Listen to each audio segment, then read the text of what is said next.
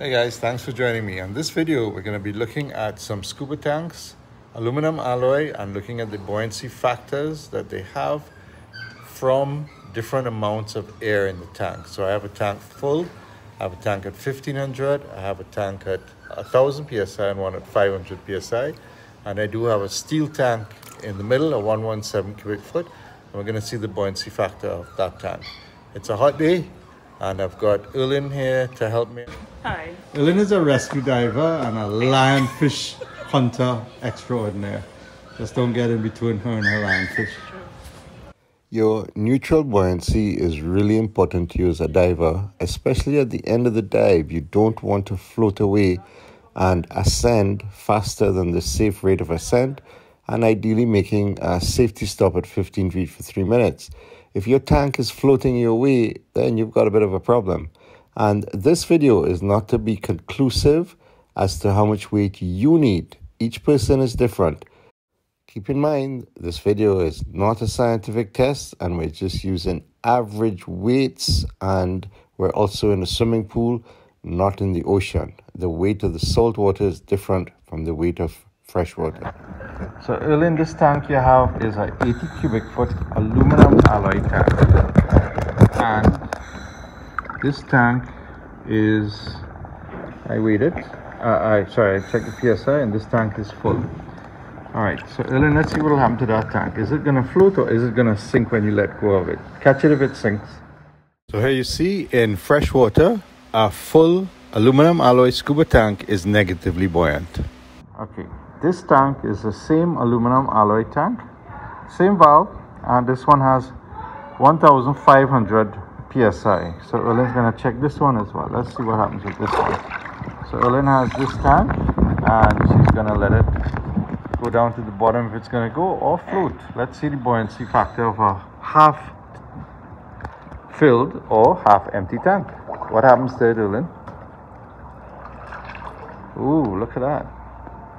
So the aluminum alloy with 1500 psi is floating, but the valve wants to point down. That's where the weight is. The valve wants to point down a bit.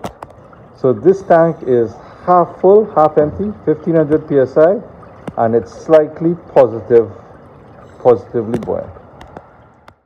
Let's try one pounds and see what it does to this aluminum alloy tank with 1500 psi. Here you go, Ellen. Try that one. So Ellen's gonna try turn it around there. One pound and see what the tank does. So look at that. It's still floaty. The valve is the heavy part of it, of course, so it's gonna drop, but it's still kind of neutral, kind of just hanging out there. So I would say we need one and a half pounds to be neutral. You think? One and a half pounds. I don't have a half pound weight unless I get a fishing sinker. So I'm gonna say that we would need two pounds to get a 1500 psi tank. So when you're at half tank, you actually need to let some air out your BC, huh? Yeah, you just saw it. Sure. Yeah. So let's see, Erlen, what's gonna happen. Let go a little bit, let it go carefully. All right, so that, is it dropping? So there we saw with the two pound weight, that's the two pound, the tank is actually negative. It's heading back down to the bottom. Okay, so I brought the other tank in, and this is a 1000 psi tank.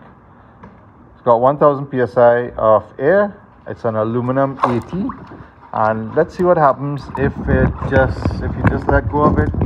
Fill in, what's gonna happen to the tank? So 1000 psi,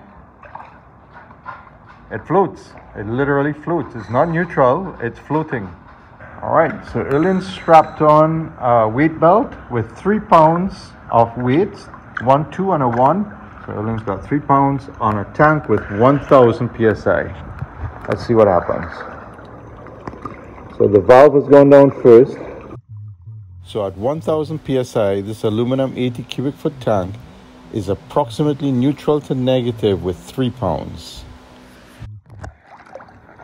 All right, so this tank that I've got here aluminum alloy 80 cubic foot this one has 500 psi 500 psi and Erlen's going to demonstrate the fact that of course this tank at 500 psi is pretty much floating. And that's 500 psi. That's what you should be at your safety stop 15 feet for three minutes with, or almost back up on the boat, ideally.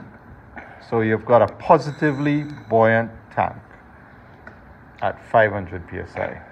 So let's see what weights we need.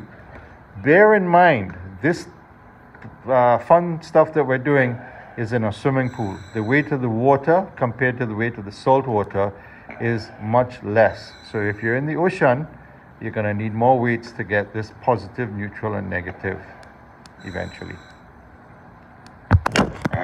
Okay, so here we have Erlen with the tank with 500 psi and Erlen has attached a 2 pound and the 1 pound and let's see what happens Erlen. So let it go and the tank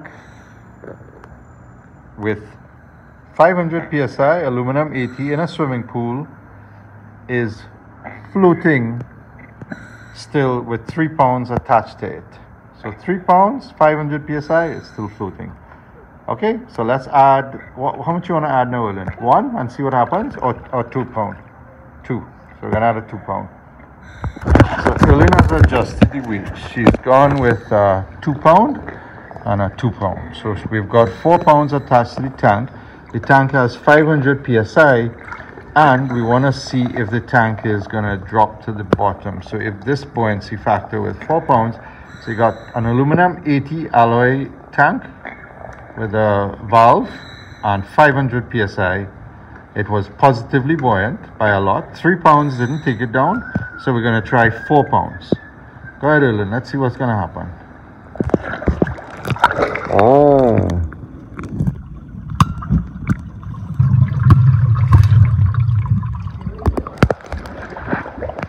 Right, so four pounds puts it to sit on the bottom, right? All right, so there you have it.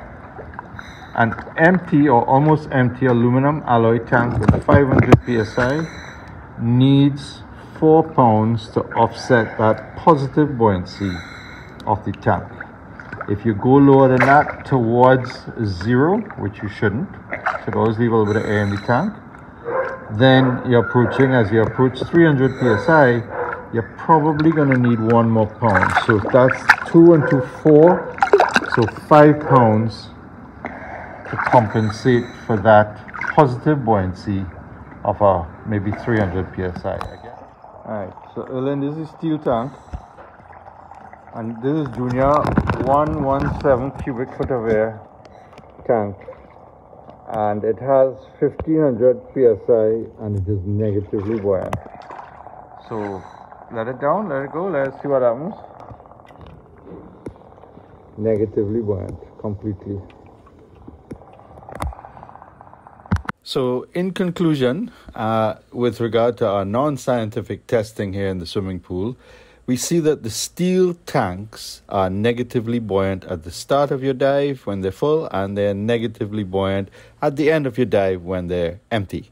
So it means that you don't have to add extra weights to become or to stay uh, neutrally buoyant while you're on the way to the surface. Uh, the tanks, of course, are going to change your buoyancy if they're aluminum alloys, depending on whether they are full, half empty, or inverted commas empty.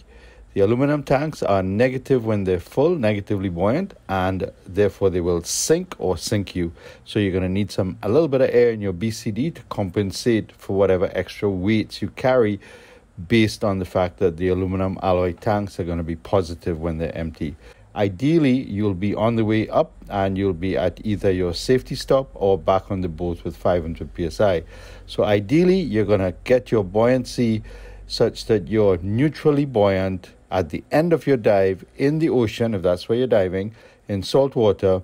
And the only way to do that for each and every one of us, since we're different, and the rate we breathe at is different, and the, the amount of air that we contain in our lungs, the lung volume, is going to be different depending on a full breath or medium breath. You need to actually get out there and try it with your dive master instructors and figure out what you need, log it in your logbooks, and keep a record of it. So, thanks very much to you, Erlen, for helping me out on this uh, video, taking this extremely hot sun today in the swimming pool. Hope you guys enjoyed it. If you have any questions, of course, drop Erlin or myself a line here below the video and we'll be happy to try and answer you. Take care, stay safe, and uh, remember, nice slow ascent with a safety stop. That helps to keep you safe and avoid decompression sickness. See you on the next video.